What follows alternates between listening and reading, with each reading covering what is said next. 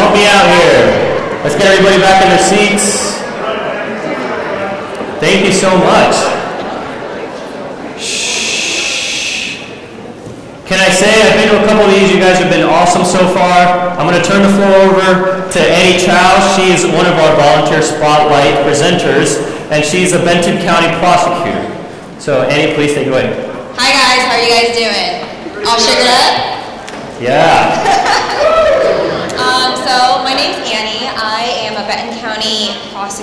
A little bit about myself. Um, I'm from originally Southern California and born and raised, one of 12 kids. And I'm the only lawyer out of 12 kids, so lawyer life was not on the radar for me. Um, single mom, and after high school, I, sorry, I was raised by a single mom. I realized how confusing that was when it came out. so after high school, I did not take the traditional route like a lot of my friends who went straight to college. I went to community college for two years. And after going to community college for two years, I was able to save up enough money and transfer to UCLA. And from UCLA, I went to Gonzaga University for law school. Go Zags! A little bit about my day. Um, I get a lot of referrals from police officers who have contact contacted juveniles. And I read those referrals, I review them, I see whether or not a crime has been committed. If a crime has been committed, what I do is I either file on it or I send it to diversion, which is an alternative program. Um, I read a lot. I talk a lot with law enforcement. I meet with our detectives. I work with the schools a lot. I'm working with the principals, the middle schools, the high schools to make sure that everything is going well at the school, that the schools remain safe. It's one of my biggest priorities. Um, to be honest, I love my job. I love what I do. I love working with kids. I do a lot of rehabilitative therapeutic programs. I do drug court. Um, we work with kids who have substance abuse problems. We get them the help that they need. Um, so yeah, I really love my job. It's really satisfying. I get to help people, and when I see people going in the right direction and making healthy decisions, it makes me feel like I'm actually making a difference. Any questions? Thank you, Annie. Do you have any advice for them? Anything that they should do? Anything that's worked for you? I think the best piece of advice I could give and share is it's okay that throughout your life you don't take the traditional route to success. There is no rule book that is out there for you guys to Google, and then you just go step by step on how to be happy, how to be successful, how to land that job.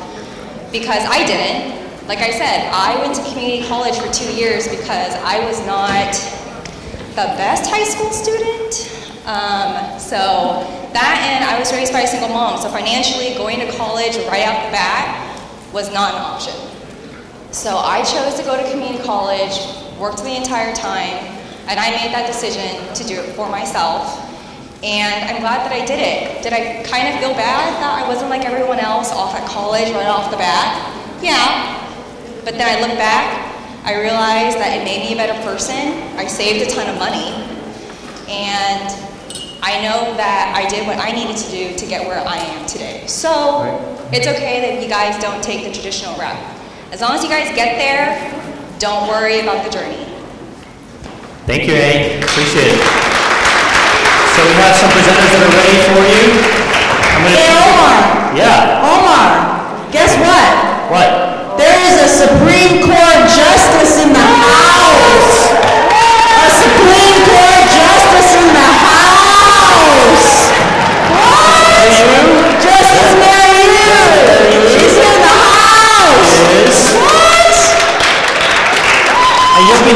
hearing from her later, yeah? Supreme Court Justice! She's a big deal. Yeah, she's a big deal. Omar. Yeah. She's a Supreme Court justice. I've got chills. I've got chills. Okay, remember, you're going to be doing contests throughout the day, so when you, who has those uh, sheets? Do they have them in their packets, Carolyn? They have the, the sheets in their packets? Passport cards? So, you know, remember, you're going to be filling those out. So remember all the volunteers we had standing? Remember to be going up and asking them for their, their signatures and all that, because you're gonna wanna put your name on that and turn it in later for a try. But I just wanna make sure you all know that there was a Supreme Court justice in the house. All right, Omar, take it away. Thank you, give away a prize? Yeah, actually, I think we got we got to get going. We got to get going. I, we got social media cases. We got two folks here again from the prosecutor's office that I want to present to you guys. We got Sean Sant actually from the prosecutor's office, and we have a public defender. if That's right. Uh, Michael Van Vander Sis. Sice. I know. Sice. Michael Vander Sice. So we have these guys are going to introduce themselves, tell you a little bit what they do, and teach you guys about uh, their area of law. Thank you. All right, good morning, everyone. Uh, My name is Mike Vandersice. I am a attorney with the Benton County Office of Public Defense. Um, I've been attorney now for a little bit over five years. Uh, I work predominantly in Superior Court, uh, doing everything from uh, lower-level drug offenses to uh, murder and attempted murder cases. I'll let uh, Sean Good morning, everyone. I'm Sean Sant, I'm the elected prosecutor here in Franklin County. Um, I've, you know, been a police officer in the past, I went in the military. Annie talked about kind of a non-traditional route. It took me uh, almost five years to complete community college because I was working full-time uh, while I uh, did that. I did uh, a lot of hours as a reserve officer, and that kind of spurred my interest in, in law enforcement. So I think this has been a, a good experience for me. This is kind of where I wanted to be. It took me a, a lot longer uh, in years to get there, um, but that was an interest that I had when I was in law enforcement to, to pursue going into the courtroom. And so I've been on both sides. I did defense work. Uh, I was a deputy prosecutor, and uh, now I, I'm serving my second term as the elected uh, prosecuting attorney. So I just wanted to talk uh, briefly about some of the cases that you heard about. You heard about uh, the officers giving you uh, some information about the dangers of uh, social media, being on a cell phone. I just wanted to highlight one case that kind of uh, grabbed our attention, this recently went through our office. This points out kind of the realities. These officers weren't just making up those stories that social media can be a trap for, for you or for others or for other friends. And sometimes you're going to be the one that's going to have to help those friends that get caught up in some of these kind of things.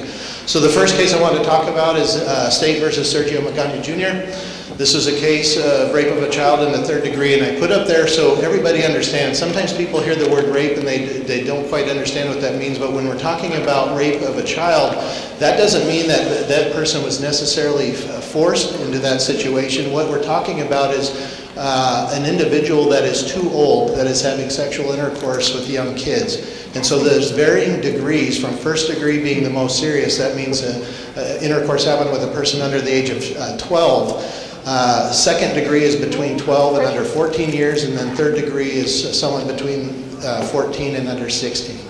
So these are serious cases, and this is what we're seeing going on in our office. This is just a highlight of one of those that has recently completed uh, prosecution. It's gone up through the Court of Appeals, and it was affirmed. This individual uh, used Facebook to reach out to, to young victims. Sometimes on these type of cases, victims don't know the true age of the individual. Sometimes what will happen is this individual will get lucky. He will befriend one of your friends who happens to be the target age that they're looking for. Typically, we see this as young as uh, 12, 13, 14 years of age.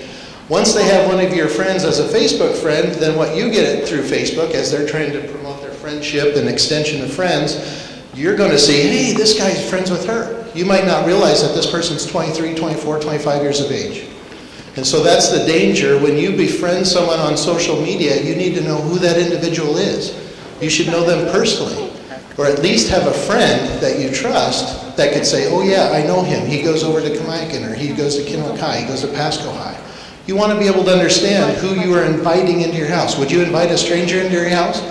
But people do that every day on social media. So this is the case where he reached out with text messages, and eventually this led to a meeting at the girl's apartment. The Defendant was eventually charged with the crime of rape of a child in the third degree. After this person was charged, a warrant was sought. So like the officer said, they go through and they get a search warrant, and they're able to pull up all the social media files. They're able to retrieve the account information from Facebook. Sometimes people think that because they've deleted information, it's no longer available. As the officers explained and as we got on our case, we were able to obtain that information. We were able to obtain deleted text messages on the phone. We were able to uh, retrieve deleted messages through the Facebook Messenger program. Defendant reached out and asked the victim to delete those messages. Why is that important? That tells us as law enforcement, as, as adults, it tells us that he knew the difference of right and wrong. He knew that what he was doing was breaking the law, and that's important. The victim reported this crime weeks after this occurred. It is not too late to report a crime. That's one of the things I wanted to highlight. Sometimes it takes uh, crime victims, and this includes adult crime victims of sex crimes especially. Sometimes it takes people a longer time to come forward and, and make disclosures. It's not too late. If you've been a victim, reach out to a trusted adult. Uh, you have counselors at school. We get many referrals that start that way. They reach out to counselors, they reach out to parents. In this particular case, the girl trusted her mother a few weeks after this occurred and shared what had happened. The report got made with law enforcement, and that's how we were able to get all this information. The jury convicted the defendant as charged. He received a prison sentence. So these are serious cases. One of the things I wanted to talk about too, this was a murder case that we had a few years ago. Because I know that we're trying to focus on technology, I thought I'd share a little bit about uh, one, of the, one of the highlights of, of this case. It was kind of the, the first kind of case that we really started to see uh, text messages, internet search history, uh, and why this case was important. This was a serious case. It was, we charged a count of premeditated murder in the first degree and attempted murder in the first degree from a separate incident. Uh, going through this thing started back in uh, March 3 of uh, 2011. Uh, this person moved in with her mother, and I'm just going to move through here real quick um, and talk about. I'm going to skip over a little bit of the timeline uh, in the interest of time. She was interviewed by detectives, kind of went through a little bit of that history, but just like the other case, what we were able to uh, retrieve was cell phone history, internet search history, and we were able to get some very good information. One of the things or the motives that we were able to show at trial was that this individual intended to get into the contents of her mother's safe. This mother had a safe in her bedroom. Uh, she had valuables in there, she had firearms in there, she had a lot of uh, important information in there. And what we were able to find is we were able to retrieve uh, from the from the contents of her phone, we were able to retrieve a video where she was trying to set up this video uh, to recover the combination of the safe. And I wanted to show that real quick. We're going to get up here. I'm going to skip through some of the other scenes again, talking about the technology that's used. We use uh, forensic investigators. CSI, anybody watch CSI? Or other crime shows where you kind of look at that forensic laboratory information, trying to put out trajectory and figuring out DNA. This is all highlights from that crime scene. So you've got trained uh, individuals that are going through that. So I just wanted to go through real quick. Okay. Um, so I'm going to get through here real quick. Premeditation, to show that we had to retrie- retrieve, see here, we get this thing to forward. This is a video of the safe. I'm going to show this real quick.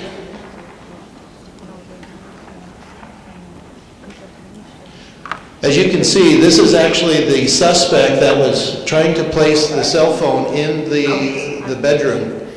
She's working with another person trying to figure out, hey, where can I capture this in the closet so she could capture the combination of that safe so she could get in.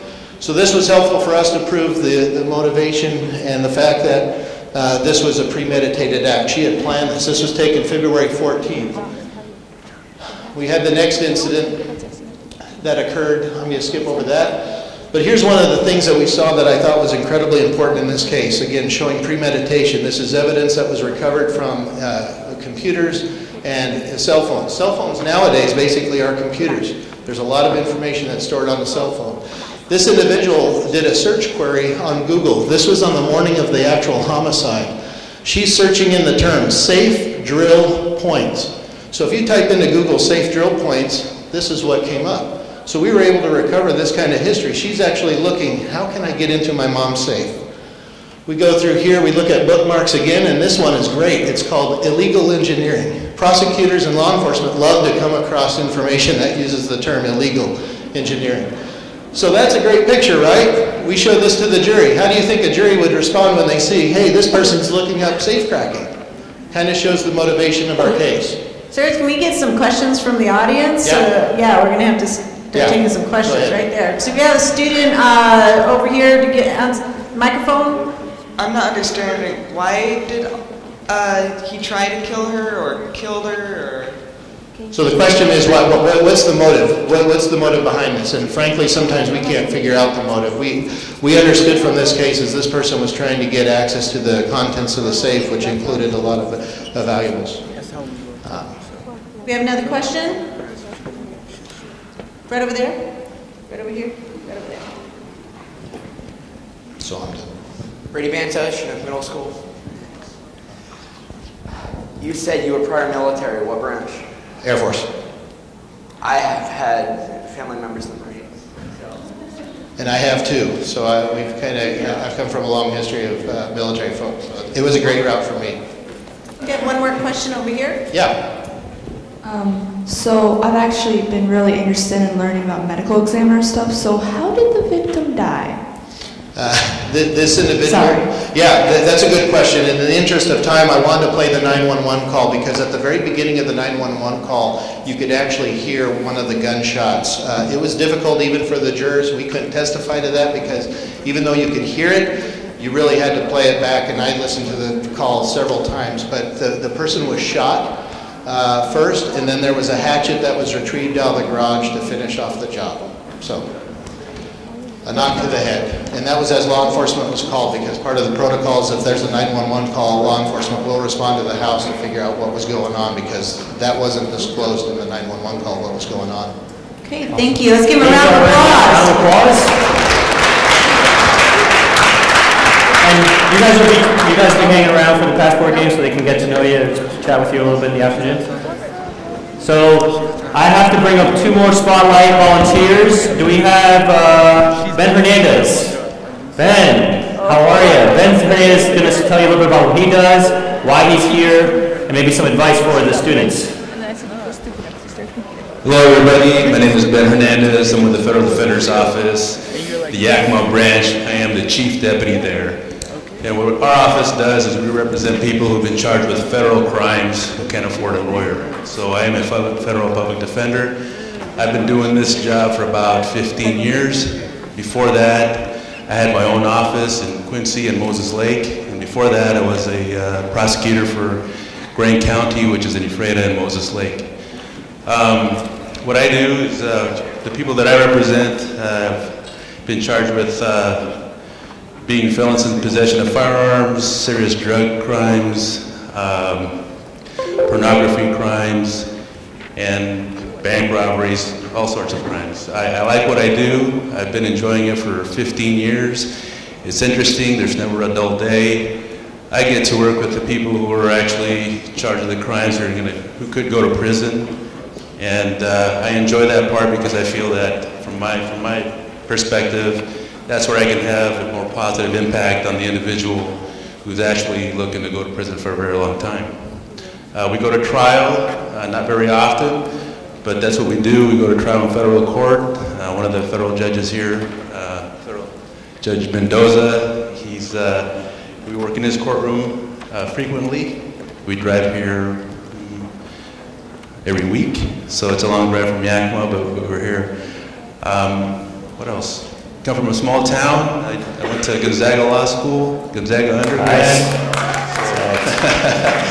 Uh, It's not easy, uh, but if you set your mind to it, uh, there's nothing you can't accomplish. Uh, Had four, uh, uh, three brother, a brother and two sisters, and my parents were migrant workers, and, you know, we worked hard and just, uh, you know, they just instilled that the value of an education. So for you all who are here, good job for you. You need to take advantage of the opportunities that you have and uh, try to make a positive contribution to your school, to your communities, for your families, and uh, make the world a better place to live. Any questions? One question, any question for Ben? One, there we go. Yes, sir. What is the small town called? Where I grew up? Quincy. Yeah. Yeah, the rabbits, jackrabbits. Thanks, Ben. Thank you, Ben. Give him a round of applause. And we have one more volunteer spotlight. Michelle Trombley's going to tell you a little bit what she does. Good morning. Morning. Morning. Hello. I'm Michelle, and I actually um, represent youth. Um, I represent youth who have been charged with a crime. I also represent youth who have done nothing wrong, but through circumstances outside their control, um, their parents um, are alleged to basically not be taking care of them um, in some way or another. So sometimes um, the kids I meet with are uh, victims of trauma and they need somebody that can go in and fight for them, and that's what my job is. And I love my job. And I hope that um, I don't run into any of you in that particular forum, but if I do, um, it's my job to listen to what you have to say. I was very fortunate to grow up with a mom who um, answered all of my questions. If I answered, if I asked her why, why she was doing something, why we didn't do something, um, she answered me instead of saying because I said so. That was a big point for her. And I try very hard to make sure that every youth that I speak with, I give those answers to. Because I understand that you guys don't necessarily always feel like you have a lot of control. Because you're youth. Grown-ups are telling you what to do. There's rules that you have to follow. And sometimes they don't always seem fair. I want to be able to explain to you what I'm doing, what your role in all of this is, and to be there and walk you through it. Because frankly, if you do end up in that situation, you're probably pretty scared. People are talking about um, detention or juvenile prison or big things like that. And I sometimes just having somebody to stand there and hold your hand while we're going through all of this um, is very helpful. Um, my favorite part of my job is um, probably all of the reading and the arguing. When I found out that I could argue for a living growing up, I knew that was the job that I wanted. And uh, every decision I made from that point on, I think I was about 14 or 15, was I asked myself, is this going to help me become a lawyer? And if it wasn't, I didn't do it. um, so I, I knew very early on that was what I wanted to do. Um, I'm also married to a Washington State Patrol trooper. He was not a trooper when I married him, because a lot of people wonder how that works out. Um, he actually used to um, work at a sawmill, and so he took the more non-traditional route where he didn't know what he wanted to do. Um, I did. I'd love to answer any questions you have. I will echo some of what everybody said. If you wouldn't want your grandmother or your parents or your cop to see anything, don't take a picture or a video. Don't post it. and if you have any concerns when law enforcement is talking to you about something, about whether you might be in trouble, they're going to tell you about rights, about being able to talk to an attorney. You're not in trouble for exercising those. Ask to talk to one of us, because we'll talk to you and tell you what you should answer their questions. Does anybody have any questions? They do. Actually, we're going to have questions for her during the passport game. So make sure that each of these volunteers that you're meeting, they're going to be telling us just, uh, you know, what they do and a fun fact, and then you should be interviewing them outside during the break when we're doing the passport game. So let's give a round of applause. Michelle and Ben, thank you very much. Lisa, I'm going to move on. I have a special presenter that's here, but we're going to do some passport game and questions right after she's done. So Nancy Kim from the Bill and Melinda Gates Foundation. She's here to present about what she does and the great work of the Bill and Melinda Gates Foundation. So Nancy, please take it away. Hi, everybody. Um, Nancy is my name, uh, and I'm an Associate General Counsel at the Bill and Melinda Gates Foundation. I've been at the foundation for about five years, and before that, I uh, practiced law at a private firm in downtown Seattle. And I went to the University of Washington for undergraduate studies and also for law school at UW. Um, so if any of you guys are thinking about uh, going to college, you should be thinking about it and you should do it. Um, but also visit Seattle, uh, check out the UW campus. It's really beautiful. It's a really great school. Go to Haggett Hall, get some froyo from the basement. Um, so the work that I do at the foundation, um, what better way to talk about global justice, law, and technology than to do um, an overview of the work of the foundation. And I have a short video clip to sh um, show why we do what we do. even before Melinda and I got married, we were talking about the opportunity and responsibility we have to take the wealth that I was lucky enough to have from Microsoft and how we work together to give it back to society in the most impactful way. In the fall of 1993, Bill and I took a trip to Africa. That trip just started us on this learning journey of, of asking ourselves, what could be done? How could you make a difference in people's lives?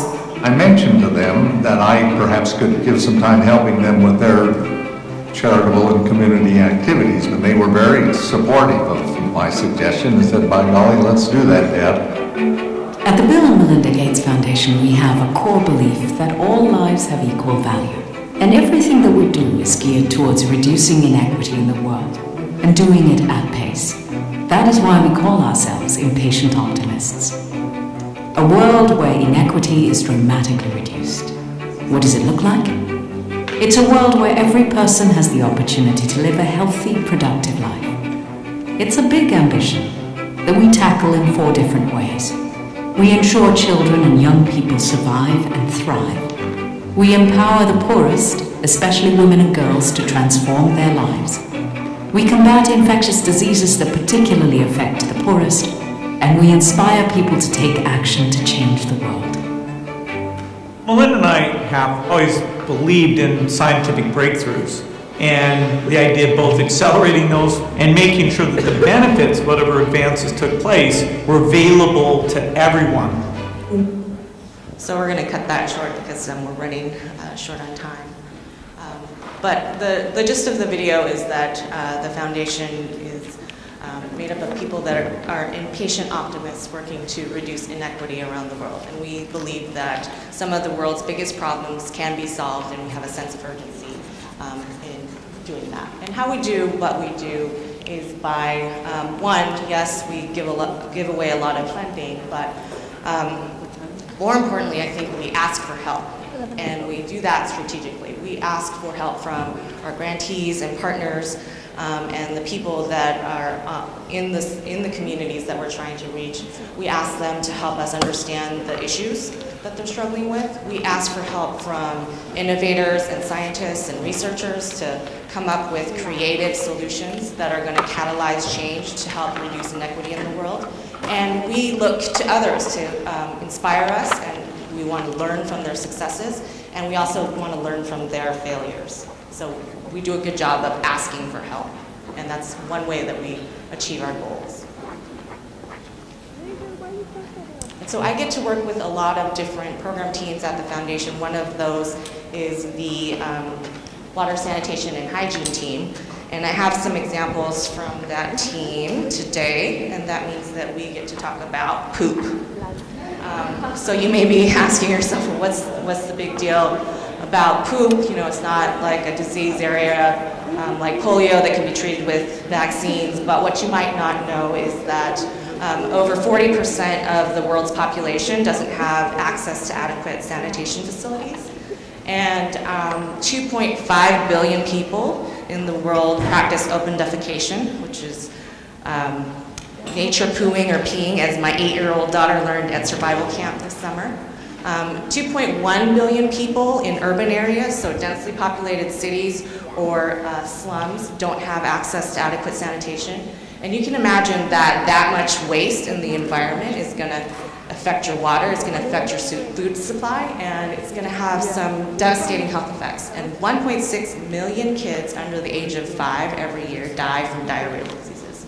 So it's, it's a real issue, um, and it's um, become, clean water and sanitation has become one of the goals of the UN. Um, and countries like India have launched national campaigns to address um, sanitation. And uh, private funders like the Gates Foundation have made it a core um, part of their strategy for reducing inequity in the world.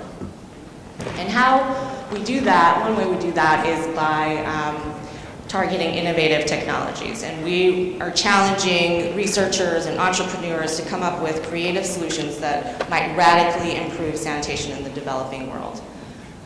One of those technologies is called the Omni Processor.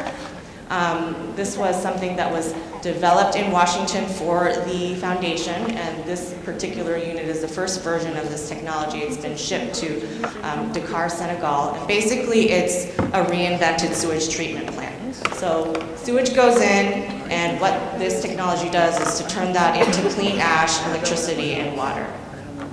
Um, here's the city of Dakar. It's about 3.4 million people. It looks like a regular city, but over a million people in that city don't have um, a sewer connection.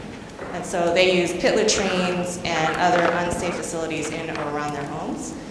And most of these people can't afford to have a septic truck come and um, pump out the sewage uh, from their latrines. And so they have to do it by hand, which is really dangerous as you come into contact with the pathogens. And it's also, you know, you can see it's just a, he's using a bucket. So it's going to get into the environment and, and contaminate the groundwater.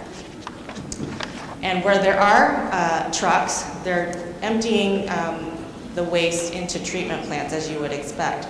But a common problem in the developing world is that these treatment plants aren't um, built to handle the capacity that's coming in. This particular treatment plant gets 10 times more waste than it should. And so the result is that the water isn't properly treated. You can see here, this water is in a holding tank after it's been treated and it should be crystal clear, but there's a lot of contamination there. Um, and it just gets dumped back into the environment. And sometimes it gets sent to, to farms um, to be used for irrigation even though it's still full of pathogens. I know we had to, um, you know, everybody wants to talk about poop, right? But let's, can, we're gonna, can we take one or two questions? Sure. Okay, so if we can open it up for questions. Anybody have a question? Who knew attorneys could be Right involved in this type of work? Raise your hand if you knew there were attorneys working and doing this kind of stuff across the world.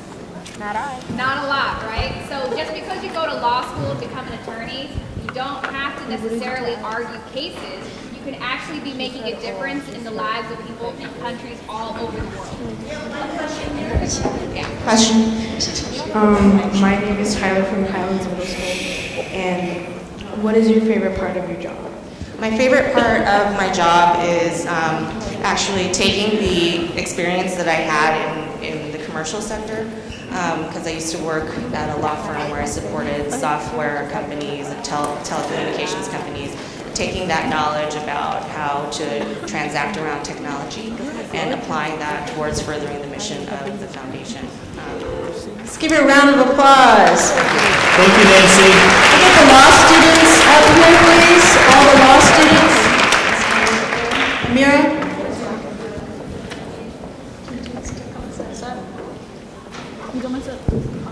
We got some strong women up here right now. Look at this. We got some reps, and what I'm going to ask them to do is state their name, the school they're going to, the year they're in school, and your high school that you graduated from.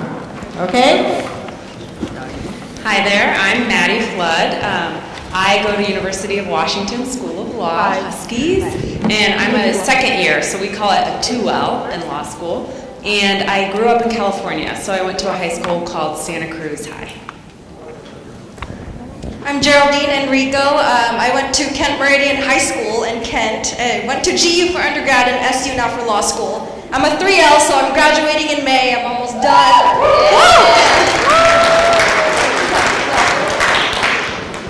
Hey everybody, my name is Leah. I'm also a second year at Seattle U School of Law. And um, I also grew up in California, so for undergrad I went to University of California, San Diego. But for high school I was in Reno, Nevada, so I went to high school called Galena. Thank you.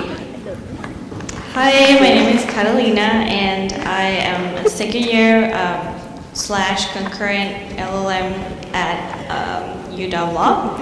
And I grew up in California and Chile, because I'm from Chile, so I guess I have two high schools, um, a Catholic one, and then Santa Monica High School. And I'm Amira. I am a 2L at UW Law, and um, I went to UW for my undergrad, so I'm a double Husky. And I grew. I went to high school at Jackson High School, which is a little up north from Seattle.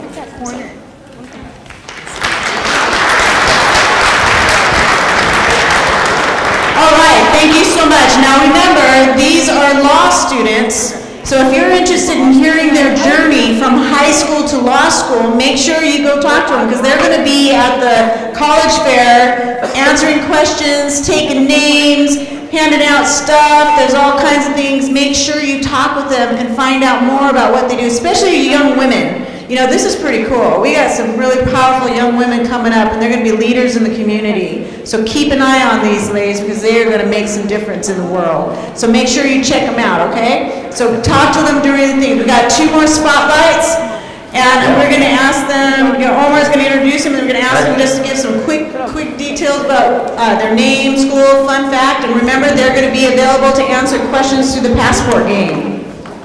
Okay, so we have two more volunteer spotlights. So we have first Jennifer Tarami. She's with the FBI. So watch what you say. Uh, please, Jennifer, tell them what you do and, and why you do it. Hi, I am Jennifer Tarami. I am an FBI special agent. I work out of our Yakima office. And I joined the FBI 19 years ago. My background is in accounting. I was a uh, CPA for three years in Seattle, and I graduated from the University of Washington. Joined the FBI first they sent me down to San Francisco and then I had the opportunity to transfer back to Washington. So I took that in 2004. One of the great things about the FBI is just the amount of opportunity within the organization and the variety of things we work. Uh, we are federal investigators, so we're similar to detectives, but on a, uh, we do federal crimes.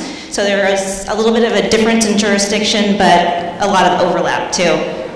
Um, in my career, I've worked white collar, terrorism, crimes against children, violent crime, bank robbery. So there's a lot of different things that we work, and that's one of the great things about the job is there's so much variety. Um, we also have offices all over the country as well as all over the world, so there's been opportunities to travel and do all sorts of interesting things, working on high profile cases and whatnot. So looking back in my career over the last 19 years, I can truly and honestly say that I've there's probably only been a handful of days that I haven't looked forward to going into work. Like even after coming back from vacation, I look forward to going to work. So um, it's, it's great to have something or to work in a career where it doesn't feel like a job. So um, please come find us. There's a couple of us here from the FBI, so if you have any questions, please come find us during the passport game. Thank you. Thank you, Jennifer. A Round of applause for Jennifer. We have Officer Ray Aparicio. Hey guys, how you doing? I'm also Ray Aparicio. I've been with the Pasco Police Department for 15 years. I'm from the same small town of Quincy, so I was a Quincy Jackrabbit. Um, I uh, worked out in the fields when I was young, in migrant work. That's just what we did. Um, I grew up, I, even though my, my dad used to be a former gang member, my brother eventually got involved in gangs. No matter how hard I tried to be, I couldn't. I was just too nice of a guy. So I, I kind of figured one day I was probably going to go into law enforcement, and here I am. Uh, I went to the community colleges of Spokane, then I went to Eastern Washington University where I was a psychology major. Um, I, uh, oh, what's that? Oh, thanks. All right. I, I, really enjoy what I do. I, I, love being in law enforcement. I was on the SWAT team for six years. I'm a firearms instructor. I, I really, really love this job. Um, it has its really good, good days, where it's the best job in the world and it has its really, really bad days where it's the worst job in the world. You know, you go to a collision where a child has died, you're trying to do CPR on a child that's, that's dying. Those, those are really, really tough days. Uh, but hey, uh, I really do enjoy this job and the differences it can be. So when you get burned out, because you will get burned out when you're on patrol, you get burned out, there's so many other things you can do like detectives, school resource officers, um, you know, area resource officers, just so many different things that you can do. So, hey, thank you for being here today, and I was told I would have a couple minutes. thank you, officer. That's great. Let's give a round of applause.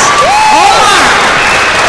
Yeah. Omar! Yeah. Omar, I got some prizes I want to give away. Awesome. Because okay. if I hold on too much longer, I'm going to want to use them. Because they, we, uh, we got, we got want prizes. I don't think they want prizes. Okay, prizes? shake it off. Be yes. ready. Shake it off. We got we got a spotter. Do I have one more spotter? Do you guys want prizes? Can I get a yes? Okay. Omar, you got some questions? I do. Give a tough one because we got a swag bag with Google glasses. You know log swag, discover law swag, and I think I got a gift card for him, so make it good. Okay, let's see if I can make it good. So we had some law students that were up here a second ago, and one of them was Leah. Leah, can you raise your hand or stand up so they can see you? Okay, that's Leah. So Leah gave us a little bit of background on where she's from, where she went to school, what she did. I want to know, guys gotta listen to the question first, and Leah's gonna correct me if I don't get this right. I want to know where she went to law school, where she went to undergrad, and where is she from originally? So what state?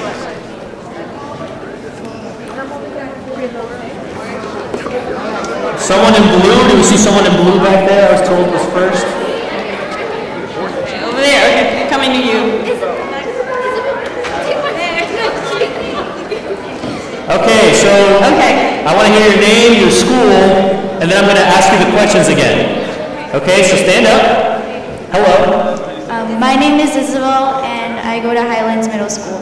Highlands Middle School. All right, awesome. Now, I'm going to ask you the questions again. Leah, she went to law school, undergrad, and where did she kind of grow up? Where was she before that? So tell me. California. California. Okay, check. So is that undergrad or? Where did she go to law school? Or what are the other No, schools? in Seattle University. Seattle University Law School, okay. So before undergrad, where was she? In Rio. Yeah, go ahead. Is in Rio. It's close. Reno? Reno? Maybe? Yeah! Oh, very good. Two out of three, two out of three. Omar, this section over here in the back, Omar, this, I'm over here in the back. This section over here has been kind of silent, and I'm getting worried that they haven't been like paying attention, but some back here have said they've been paying attention. I've got And they want some prizes. All So right. the focus is gonna be on this back sector over here. All right, So so you all better be ready. We just do those three tables back there? I see a lot of athletes with jerseys on and stuff. They probably weren't paying attention. So, let's see. It's going to be easy. Don't be here. Uh, Catalina. Catalina, right? She's also a law student, but her background is maybe a little different. So I want to know, she says she went to high school. Where did she go to high school? And where did she go to law school? So she gave us two places that she, she kind of spent her time in high school. Is that right? Okay. They just need two out of three? Yeah, give me two out of three. So where did she go to law school? Where did she go to high school?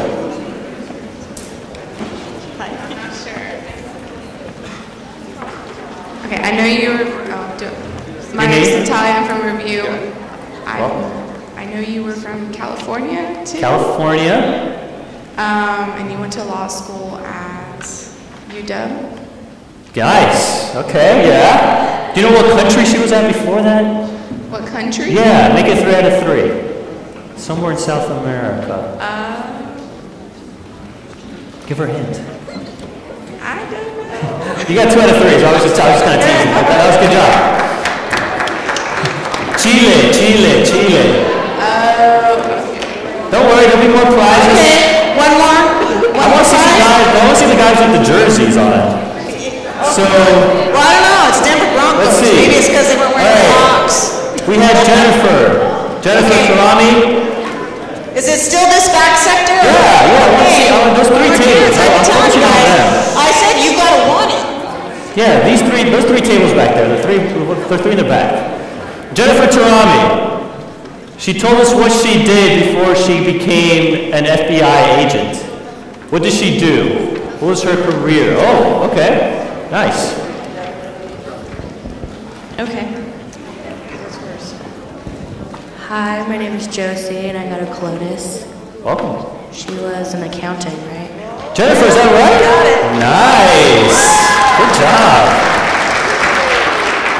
Where should we go now, Lisa?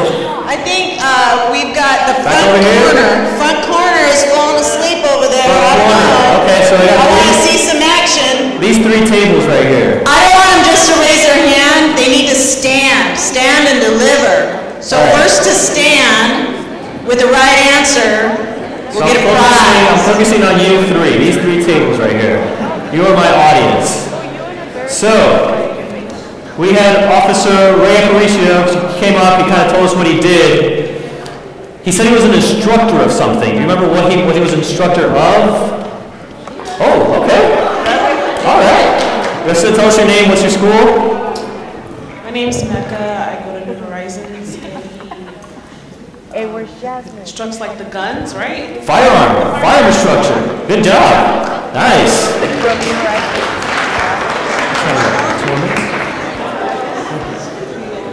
Lisa, maybe one more, and then I got a special speaker. And this is going to be for the whole crowd, because we got the folks that were kind of sleeping in the back, because I want to give away another big swag bag, because it's a Discover Law bag with Google glasses, 3D Google glasses. Did I say that? 3D Google glasses. And you can look at the scarf from UW in the 3D, looking at that, and then you have some other treats, and then I got a gift card. So this is a big one, and we're going back in time back in time. This is a tough one, I got it. So Omar, Catalina, can you be our spotters here? So it's going to be all the crowd. So first to stand and catch their attention is going to be the winner of this prize. Judge Mitchell. Now we've been we've been playing the two. I've been giving him a hard time because he's a WSU grad. But you know what? In the end, I don't care where you go to college. I just want you to go okay? It's more important to me that you just keep pushing and keep going. And community college, college, just get there. Don't let anybody tell you no. But Judge Mitchell said that he has his favorite assignment. Okay, he works in Superior Court, but he said right now he serves as this kind of judge at this court, and it's one of his favorite assignments.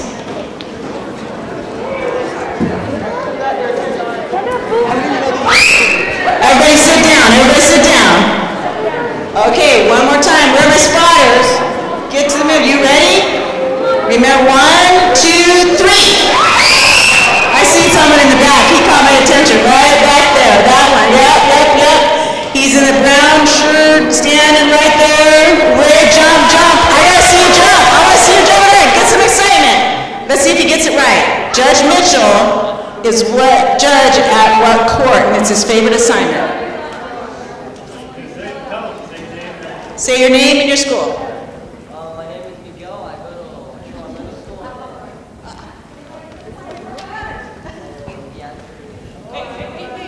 Okay, everybody hold your breath. Let's see if he gets it. Hi. Hi. um, hi, my name is Miguel. I go to Ochoa Middle School, and the answer is adoption. Oh.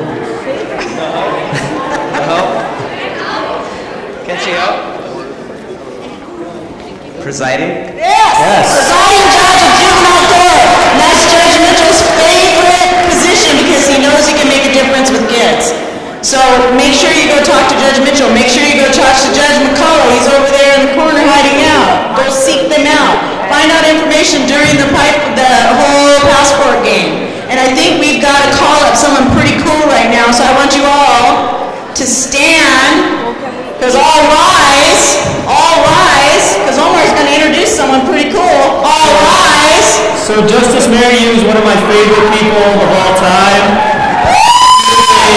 She's a justice in the Washington Supreme Court. She's from the south side of Chicago, and she's going to tell you a little bit about her story and her background. But she's also going to have a big ask of you, which I think is why you're here. You're going to kind of You need them. I think we need them all. So, so Justice Yu, please inspire us like you always do. Glad you're here. Thank you so much. First of all, go ahead and sit down. I've been wondering if people have been listening.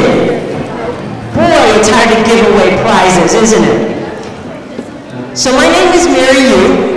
I sit on your state Supreme Court, which is the court, the highest court in the state of Washington. There are nine justices on the state Supreme Court. You've heard the phrase, the buck stops here. You've heard that phrase? How many of you heard that phrase? The buck stops here, right? At the end of the day, it's the principal's office, or it might be your mom and dad are home, or it might be your grandmother, but somebody at the end of the day has the final word, right? That's what the Supreme Court is in the state of Washington. We have the final say on the law in the state of Washington as it relates to state law. So we deal with cases that you've heard about. We also deal with cases that are very, very serious, like the death penalty. We decide cases that involve our Constitution. So let me just say a couple of things to you. And the first thing is thank you for being here. Thank you for caring enough about yourself to take a little time today to listen to others, to talk with people, to maybe get inspired and to dream about what you might do. I'm going to tell you something about myself, and I only have a few minutes, but I wanted to just publicly thank one of the lawyers that you heard from. She got cut short here today. Her name was Nancy Kim, who was working for the Bill and Melinda Gates Foundation, and she talked to you about, what did she talk to you about? Poop, right? She talked to you about poop, something that seems so ordinary every day, almost something we don't talk about, and yet she talked about the problem of disease, right? And how it robs the opportunity for children to even live. She does her work as a lawyer, an intellectual property lawyer, a lawyer who helps to try to come up with solutions to big problems. That's why I'm here today, to say that each one of you could be like Nancy Kim.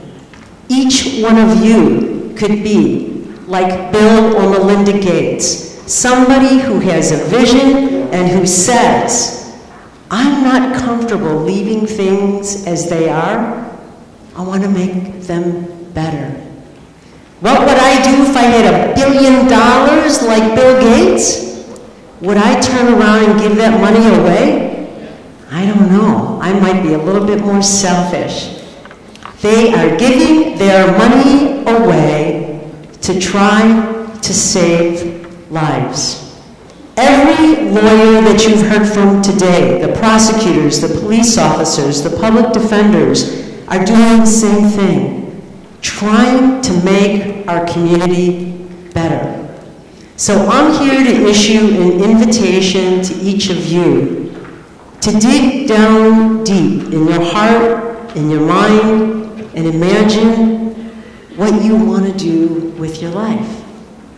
And then what I'd like you to do is to do it. Get there. Believe in yourself. I'm at the state Supreme Court, and I never thought that I could be in the highest position as a judge in the state of Washington. I grew up on the south side of Chicago in a pretty poor family. I never had my own bedroom. My mother was undocumented. My father was undocumented. They came to this country with no papers, right? Today they get thrown out. 50 years ago, they were given an opportunity to regularize their status. And that's why I'm here. I'm here because my parents believed in an education because they didn't have any. They believed that education was going to be the only way that their kids could maybe have a better life than they did. My mother said to me, look at my hands, Mika. I don't want your hands to be like mine. Dirty, rough, cut up from working fields, right? My mother said, I want you to have the opportunity to go to school, to be able to read, to be able to write. My father's English was broken, and people made fun of him all the time, and I was embarrassed. Now, I could have gone and hidden away, but because of my parents' belief that maybe I could do something good for someone else, they supported me in my dream and in my education. I never knew I wanted to be a judge. I didn't know I even wanted to be a lawyer. I worked right after I got out of college, and then suddenly I realized I wanted to make life better for others, and that's when I decided to go to law school. And I just happened to be in the right place at the right time to have the opportunity to be a judge. I'm not smarter than anybody else. The one thing that I do really well is I work hard. I read everything twice. I take a lot of notes. I outline. I stay up really late to study because I don't think I'm as smart as everybody else. So I work twice as hard. And that's why I'm here today to invite you to do the same. I'm getting old, believe it or not, and I'm looking for my replacement. I'm looking for somebody else who's going to take my spot at the Supreme Court. Now, I want you to also know that I was the first woman of color to be on the state Supreme Court. I was the first Latina, right? The first Asian, and the first member of the LGBTQ community to be at the state Supreme Court. So what I'm saying to you is I need you to step it up. I need you to think about being my replacement. Take my spot when I retire. Be there. I need you to be the leaders to inspire your friends, your little sisters and brothers, your neighbors, your siblings. I need you to be the people in today's world who are going to stand up and say, I believe an opportunity for all. I believe in equality for all. I believe that we will not be divided by our differences, but we will come together because of what we have in common. We are one nation. We have certain principles and beliefs.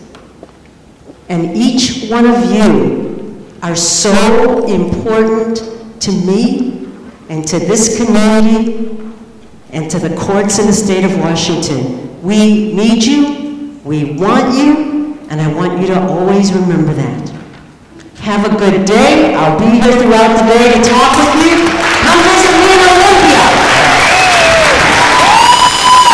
Thank you, Justice Yu. Justice Yu is one of our favorite, favorite, favorite peoples ever because she's so supportive of students. Um, If you could please give me your attention for one moment. We're going to have the undersheriff, he's going to kind of, again, give us a brief, maybe one minute, what's going on, and then how we're going to transition over to the, the thermal imaging. So if you're in here, I love it that you guys are engaged and you're hanging out. We're going to just give the undersheriff our attention. Thank you very much. Thank you. Undersheriff, I'm going to turn to you, maybe a quick description of what's happening. You've got everyone's attention, let them know what's coming up next. All right, everyone. Uh, like I said a little bit ago, uh, some of you guys were getting your food, so you didn't hear. Uh, we've got a DJI-1 UAV, uh, or drone. Uh, we use it for all sorts of things. Uh, search and rescue, we use it to investigate fires, help the fire department, document basically houses that burn down, buildings that burn down. We also use it for tactical response missions to when we have to go somewhere and we feel that it might be a little unsafe or somebody may be waiting for us, we send the drones in there first, kind of give us a heads up of what's out there. Now, what we have, we have two cameras. We've got a 4K camera which uh, unfortunately in here it's not giving us the best signal because of how well this building is built. Uh, but uh, we also have a FLIR camera, and the FLIR camera basically is just like you see on, on, on TV. You know, it senses and it can pick up heat signatures from whatever's out there. It works best in the fall through wintertime because of the fact that everything outside is colder than us or anything living and stuff like that. Uh, we're in the middle of switching cameras out right now and uh, we'll, we'll give you a, a little brief um, show and tell of it here in a minute. Thank you, Under Sheriff. We appreciate you. So he's going to step in once more, more or less, whenever he wants to show you something or point something out, he'll, he'll step in. But I also want all the volunteers. We have the volunteers here. They're going to take part in the passport game. Can you stand up or let us know, wave? Passport vol, okay, awesome, great. I'm glad you're all here. Uh, maybe in about five minutes or so, you, you should go to your spots outside where we're going to kind of play the game and have the students come out. So you have about Okay, so you should know where you're going to be. If you don't, come up and ask me. But in about five minutes or so, right? To volunteers, if you're in the passport game, because your name is on the passport card, um, judges and attorneys will stay in this room. All the other volunteers go out to this uh, atrium area and find your like career name tent. That'll show you which area to pretty much stick around and wait for kids to come to you, talk to you, and then give your signature. So judges and attorneys in here, everyone else, go find your career tent if you are a volunteer.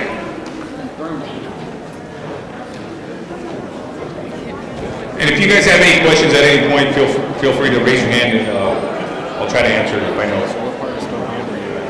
So basically right now, guys, what Deputy Barnes did is he, flipped, he switched out the cameras and we're kind of showing you what we can see from the, from the air when uh, we're flying over a, a certain place. In the summertime, it can be pretty difficult because the sun pretty much warms everything, right? The, the concrete, the trees, rocks, everything. Um, but fall time, winter time, when it starts to get cold outside, it works much better. So as you can see, uh, that person, I'm not exactly sure who it is right now, but uh, you can see he pretty much sticks out from the trees, bushes, stuff like that. And we'll see if we can't get a better signal.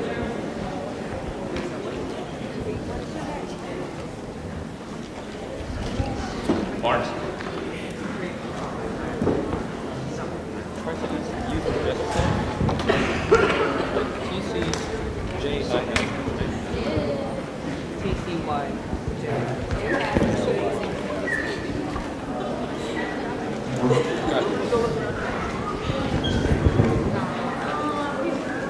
The cool thing about this camera too, everyone, is that, uh, now again, we're still kind of new to us, but we can actually set temperature ranges to show up at a different color.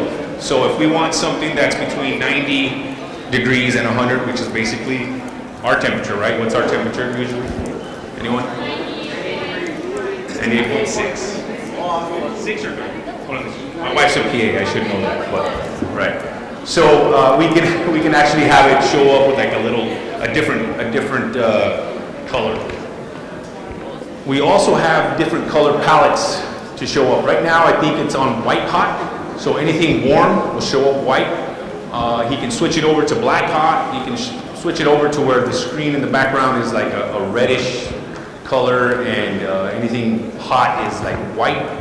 Um, and I think right now, on the display, it'll tell you how far away it is. Right now, it's uh, 96.8 feet in high. Away from the remote control, it's uh, 50 feet. And it'll also tell you how fast it's flying when you're returning it. Some really cool features about this drone is if it loses contact with the remote, it'll return right to, back to where it took off. It, knows how to get back. If it's starting to run out of batteries and we're not paying attention to it, it'll tell us on the display that batteries are running low. But if we still don't pay attention to it because something might be happening where we don't we don't see it, it by itself will come back. So if it gets down to like 10%, it can calculate how far away it is and it knows that it'll need 8% to get back, it'll come back at 8% regardless of what we do, so. Well, we got a runner. Got a runner, got a runner. Right? So he could be hiding just about anywhere. Uh, we also have a canine unit in our, in our department, and teaming both of those guys up, uh, bad guys don't stand a chance. Usually. Yep. So, Undersheriff, what's the training like for, for being able to operate Yeah, for, for us, um, we, we pretty much, it, state leaves it up to us. We had to apply for permission to fly and all that stuff. And they give law enforcement certain special permissions to, to where you don't have to go get technical training, but you do have to be responsible for your pilot. So you, you as a department have to put your own training together and uh, know that if anything goes wrong, you're going to be held accountable for, for what happened. You know what I mean? So we, what we do with, with any deputy that wants to be a drone pilot is we put them through a, a skills course. We, we make sure that they can launch it manually or use the iPad, um, and just just that we get them we get them time on the we get them time on it. Ju- We're lucky where our office in Othello has this huge green yard in the back where we get to pretty much fly it whenever we want. Great. Do you guys have any questions for the undersheriff? Go ahead. I think we have one here. How fast does it go? I believe this one will go up to 32 miles an hour, if I'm not mistaken. It'll stay in the air for around 15 to 20 minutes, depending on the weather outside. If the wind's blowing really hard and it has to work harder, obviously it'll use more battery time. Yes, ma'am. Do you know how fast an average person can run? I do not. Sorry, I don't know. Yes, ma'am.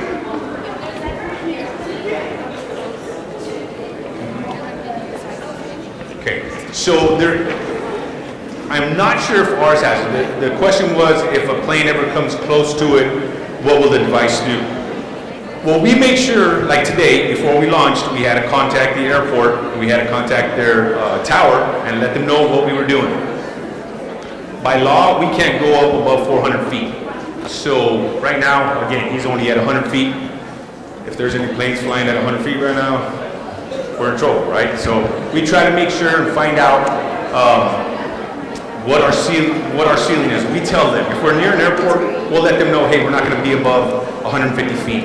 We're not going to be above whatever. But we do have up to 400 feet. Some of them, I'm sorry, but to answer your question, some of them come with anti-collision sensors that will not let it run into trees or, or anything like that. But as far as something else flying near it, I don't know if it could react that fast to avoid it. Anything else? Again, these are the different color palettes where you can change them out to, to make it, uh, make the, the person that you're looking for or the thing. Because sometimes when we're out looking for or just training, we can spot deer, spot coyotes and stuff like that. So we have to pretty much get close enough to where we can tell that it's not a person.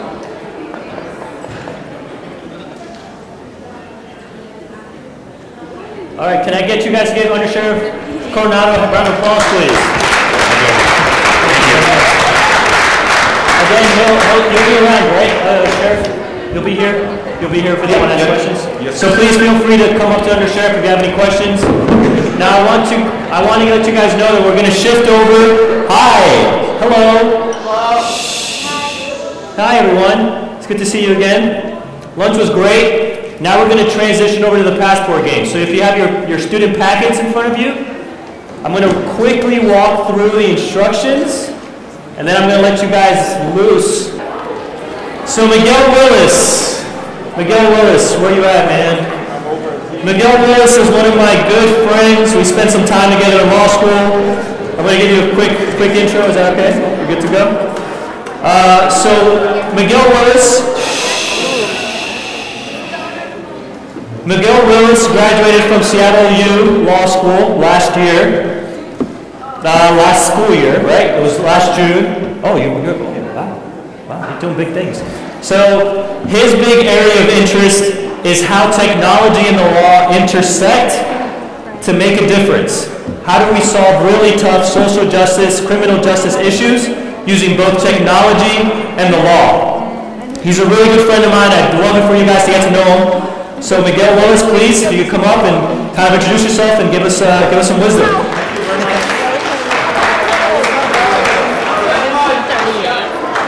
¿Quieres carne? I go to you. I think you put them in your bag. Perfect. Can you hear me? No. All right. Uh, first, I'll, I just want everyone to stand up and shake the heebie-jeebies out. What? Stand up. Stand up. Stand up. You guys were already up, right? Why, why are you standing up? You just up. Okay, you can you can sit down now. So, uh, my name is Miguel Willis. I am the founder of the Access to Justice Technology Fellows Program. Um, and I'm presenting on how technology can expand legal access. Uh, so on the presentation, I'm just going to give you a background of what I do and uh, talk a little bit about the access to justice gap, uh, the practice of law versus legal service delivery, uh, how tech and innovation can increase access to justice, and uh, wrapping up why we need you, everyone in this crowd, to be a part of this uh, change to close the gap. So just a little bit about me. Uh, went to Howard University for undergrad, uh, BA Political Science Economics, finishing up Seattle U this uh, uh, winter. Um, I run a program called the Access to Justice Technology Fellows Program. What we do is train law students all across the country how to leverage technology, design, uh, user-centered design, project management, and a host of other skills in terms of solving complex legal problems. Um, we had fellows, uh, 10 fellows this summer working on projects within legal aid organizations. Uh, up there on the far right, that was one of our fellows uh, working at Legal Aid Society of Hawaii, building a technology platform to help pro bono attorneys, meaning pro, uh, attorneys that work for free, uh, to better, uh, better conveniently serve clients.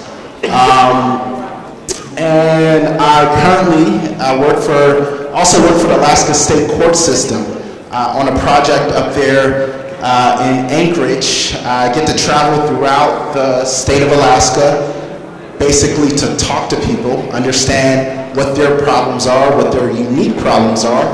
If you can imagine, Alaska has some very, very unique uh, problems because they're in a very uh, remote place, uh, a, a, very scarcity of resources and uh, a climate, um, and a lot of problems.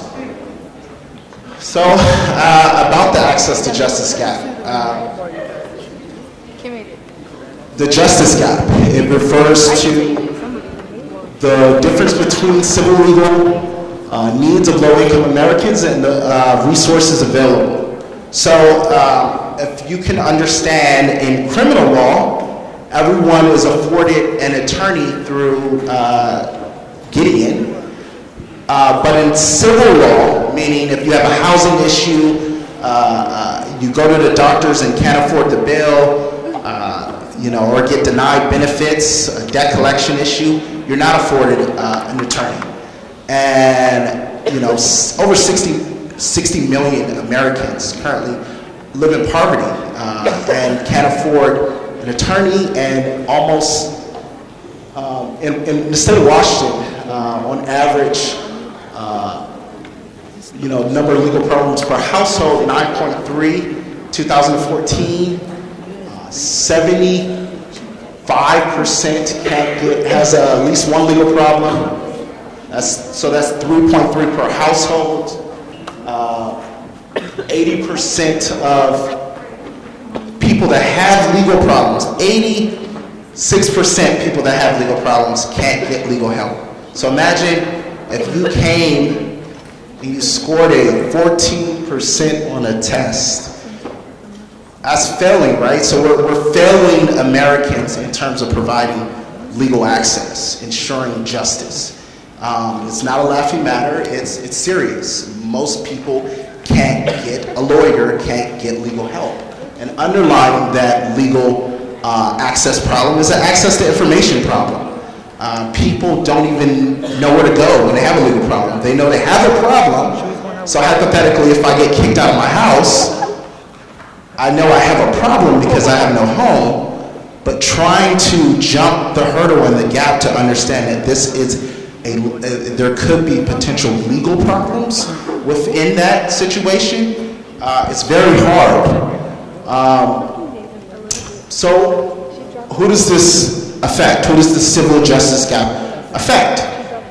Seniors, um, rural residents, people living in urban communities, veterans, persons with disabilities, uh, parents and children under 18, um, survivors of domestic violence, all types of populations have trouble, additional barriers in terms of getting legal access. So I, I just wanted to kind of uh, tell a story um, to, to help paint that picture even clearer. So just yesterday, uh, again, I worked uh, in a project in Alaska. I flew from Barrow uh, down here, so that's the top, top, top of Alaska, uh, right facing the Arctic Ocean, um, where uh, currently right now there's three hours of sunlight. Um, temperatures are ranging from zero to uh, 20 degrees. very rural, native population facing language access, and just a cultural uh, you know, divide between the community and the native village. Um, and as you can see, very high cost of living.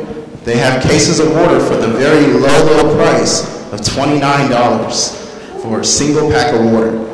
Um, and right above that, you see that was a, a hotel, uh, that was a sign coming right up in my hotel, watch out for polar bears. So it's, it's a very, very interesting, unique place. So all the way up in rural Barrow, Alaska, how do people get legal help?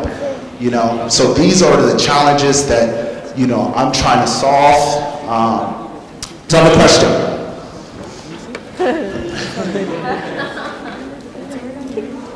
Who here can tell me, uh, oh yeah, if you answer the question, you get a gift card, or a gift, a giveaway. Okay, who here can tell me what these industries and companies have in common? Oh, we got some hands. Okay. Uh, oh, this is good. In the middle, you're waving excitedly. Wait, I got the mic. I got Okay. the mic. I got the juice.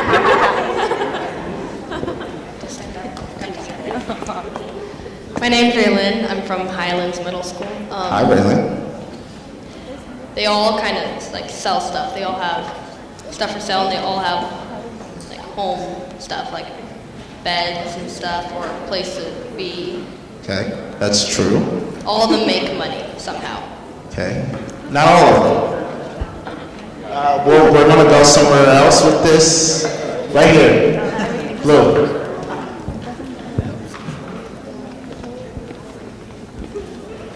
Uh, my name's Andrew Carson. I'm from Kennewick High School. Andrew. They're all shut down.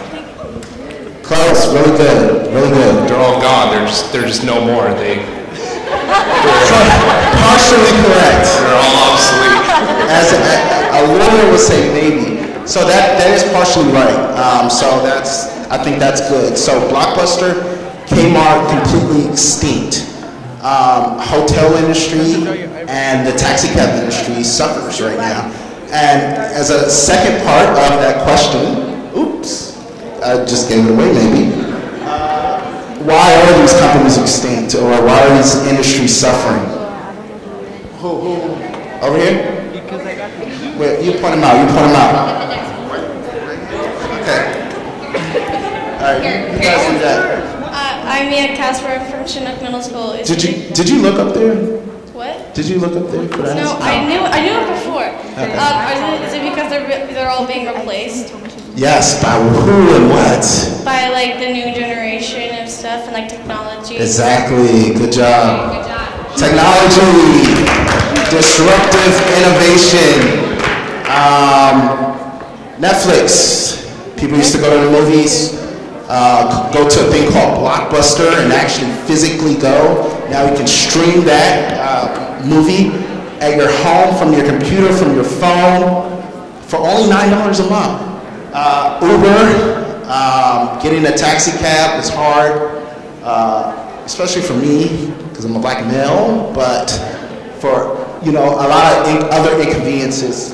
Uh, so Uber, uh, you know, car sharing, Airbnb, they're disrupting the hotel industry. And, you know, not all of it is technology. You know, some of it is innovation, trying new things.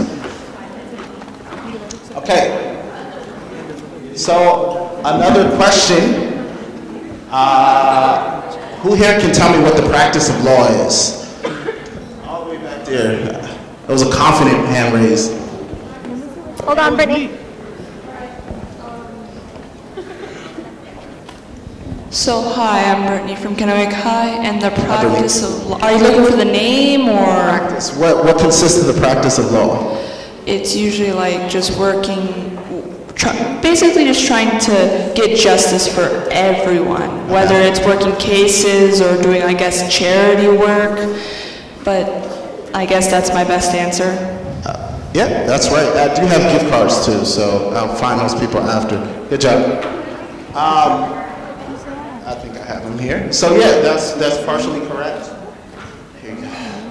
It's uh, counseling clients on legal matters, advocating on their behalf, transactions and disputes, briefs, motions, appearing in court, using professional judgment, uh, and lots of writing research.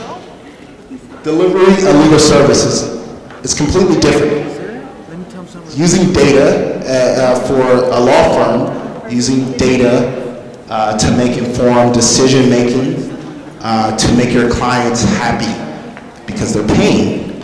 Um, for legal services, it's using data to make uh, informed decisions with the very slim and low amount of resources that you have. It's improved processes, uh, user-centered design, project management, a host of other things. So why does all this matter? Because lawyers have been adversely, uh, you know, have very adverse reactions historically to technology, innovation, and change. Um, but as you learned earlier, there's still a huge access to justice gap.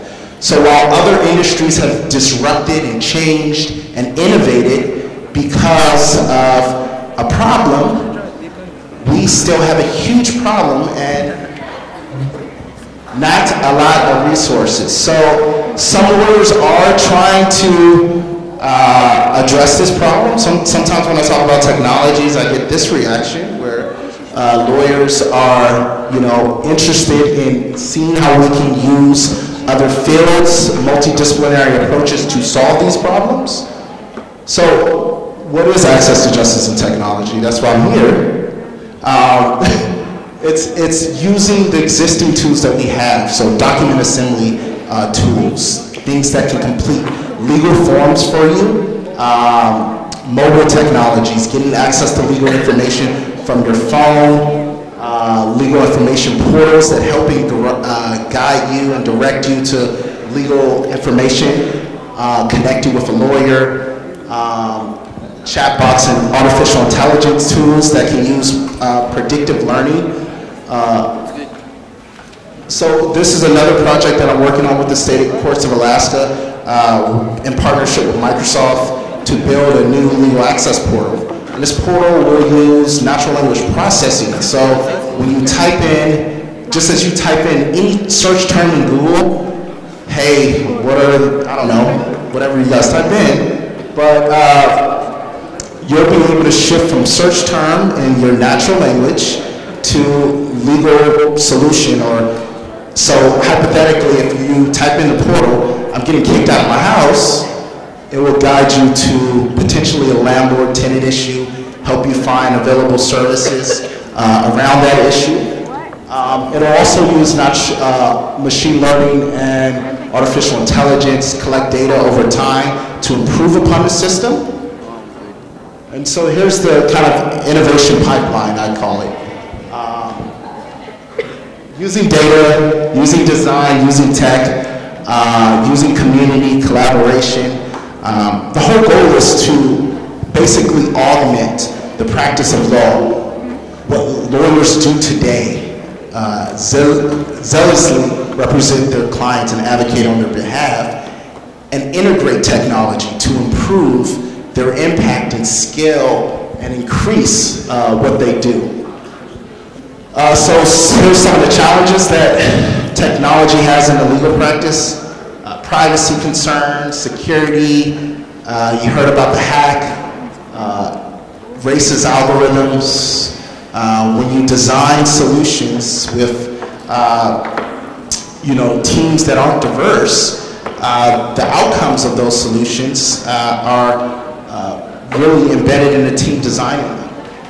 And also just a huge digital divide. In, in rural Alaska, there's little to no internet. So how does a tech solution help? Outcomes. Uh, through technology, uh, we can increase access, uh, we can reach farther communities, we can help clients get more self-sufficient on their legal matters. I know, we're talking about the other And finally, the future law needs you. Um, you all are the future. Um, the future of law will require uh, a diverse, young cadre of legal engineers to basically redesign, reimagine, and reinvent the delivery of legal services. As, as much as you all are in tune to technologies, I think there were over 200 or something hashtags within a, a, a few hours. You all experience and use technologies on an everyday basis. Uh, there's over, I want to say 80% of the law, you know, lawyers are baby boomers, uh, you know, and resistance to technology. So you all will need this change of re- reimagining uh, how law is delivered. So questions? Take maybe one or two. One question, anyone from Miguel? I have a question. Yo. How'd you do it? Do you have one quick piece of advice that they can take home?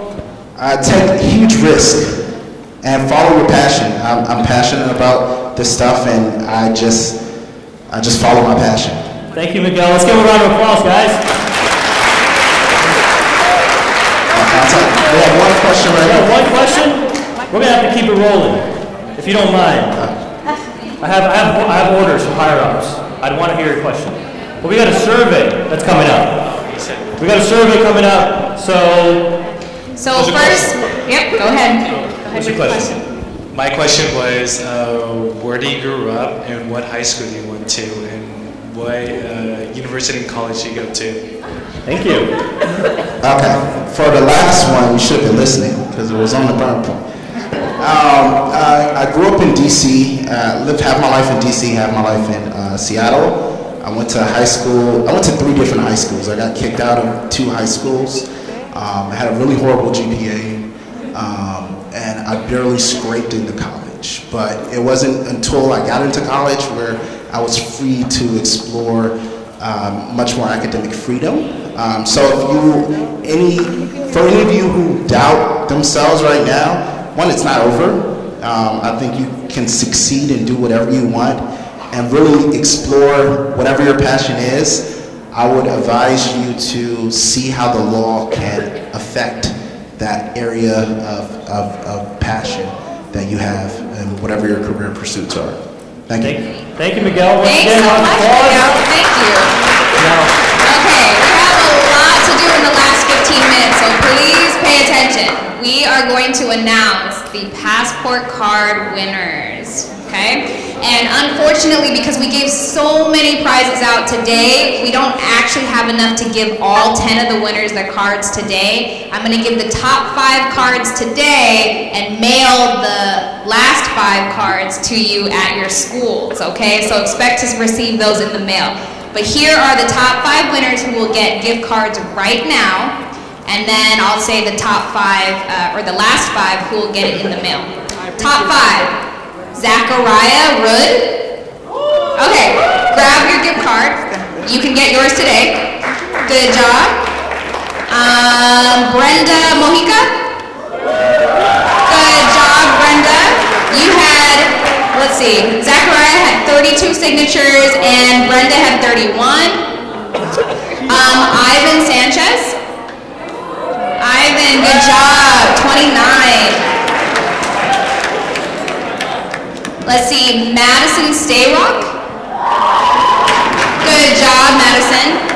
And the last person getting a gift card today is Miriam Gallardo. Here are the ones who are going to get it in the mail. Miguel Esquivel. okay, uh, Luis Garma. I can't quite read the handwriting. Luis? Good job, Luis. Um, Isaiah Lint. You'll get it in the mail. And ooh, hopefully they have their name on it. Cecilia Martinez. Meredith Martin. You'll all get yours in the mail, okay? Good job. So those are our passport card winners. So we have to move on. Who are our Instagram winners? Remember, we're only picking a few. We said we are going to do three, but actually we're going to do four.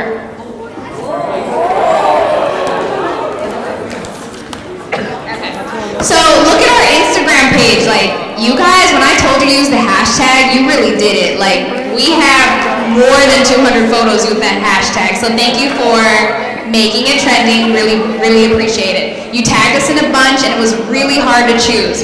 Here we go. First Instagram winner. Her IG name is lovely underscore pumpkin. Yay! Second, his IG name, I think, is Brandon dot is dot hot. Brandon dot is dot hot.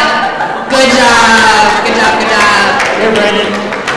Her Instagram name is Leilani underscore Esparza.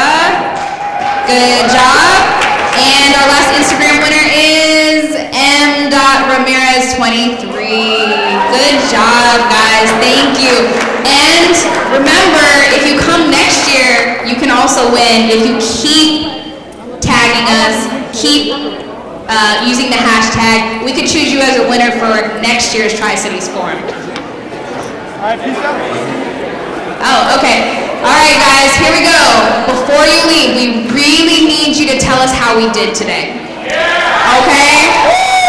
So here's what you're going to do. Take out your phone if you have Instagram. Click on our website that's on our page. Fill out the survey. Or you can do a paper copy. Paper copies are coming around. Fill them out, leave them at your desk, okay? And then you all can go home. Thank you so much. Thank you guys, you did great.